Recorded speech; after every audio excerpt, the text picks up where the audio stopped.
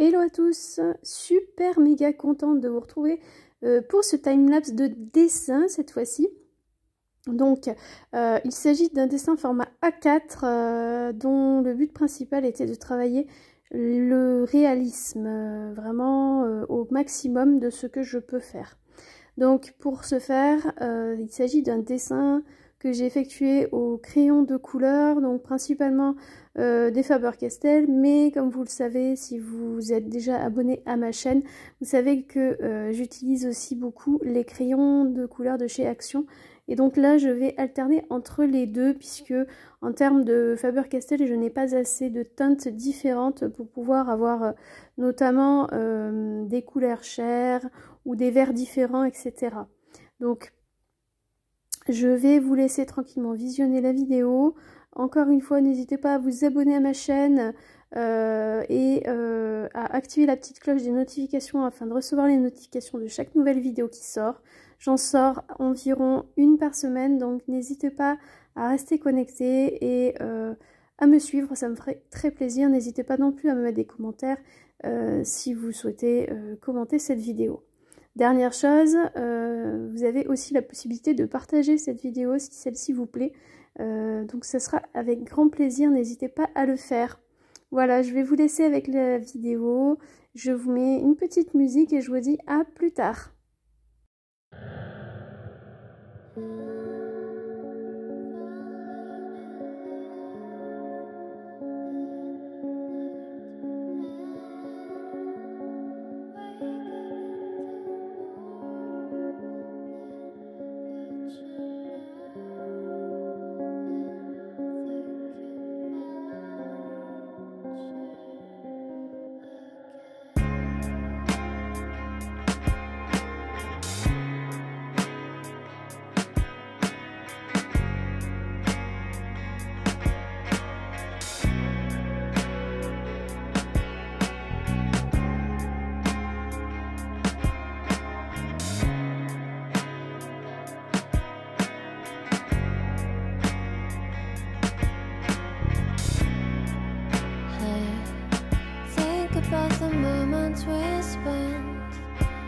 Just want you to be happy when someone tries to touch your scars. It doesn't seem to cure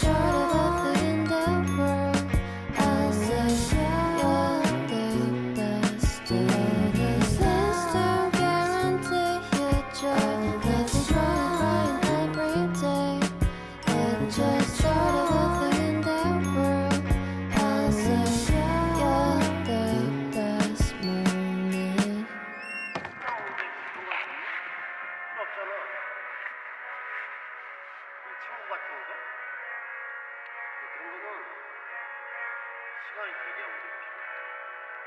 그리고 쉽게 색이 되니까 신중하게 선택해.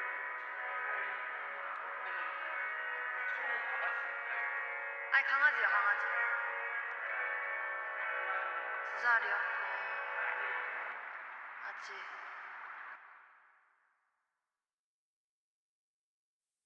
En dehors euh, des crayons de couleur que j'utilise, d'ailleurs euh, euh, le petit boîtier noir que vous voyez avec une manivelle sur la droite, il s'agit de mon taille crayon.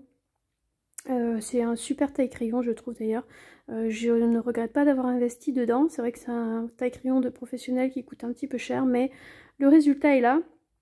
Et c'est vrai que c'est quand même assez important d'avoir un bon taille crayon euh, pour avoir toujours bah, des crayons taillés impeccablement. Donc, euh, hormis les crayons de couleur que j'utilise, euh, donc euh, comme vous avez vu au début, le croquis je l'ai fait avec un Critérium .05. Ensuite, j'ai utilisé des gel pens euh, que j'ai de différentes couleurs, notamment pour le vert et pour le noir. Voilà, et comme vous allez pouvoir le voir euh, sur la fin de la vidéo, et comme vous le voyez d'ailleurs à l'écran, euh, j'ai un euh, stylo, bah voilà, un stylo gel pen blanc euh, pour faire ressortir toutes les zones de lumière de la peau, parce que effectivement la peau est loin d'être euh, uniforme et a souvent des petites aspérités et des toutes petites pointes de lumière à certains endroits. Donc voilà, j'ai essayé de faire ressortir au maximum ceci. Euh, toujours dans un but euh, de, réalisme, en tout cas de s'approcher au maximum de la photo de base qui est juste splendide d'ailleurs. Euh, je vous mettrai le nom du, photographe dans la barre de description. Voilà. Donc, eh ben, écoutez, j'espère que cette vidéo vous plaît. J'espère que le résultat final vous plaira. N'hésitez surtout pas à mettre des commentaires et à me rejoindre sur les réseaux sociaux. Euh, afin de voir un petit peu mieux le dessin que je publierai not notamment sur Instagram et sur Facebook. En attendant, je vous fais à tous des très gros bisous et je vous dis à très vite pour une prochaine vidéo et prenez soin de vous. Ciao ciao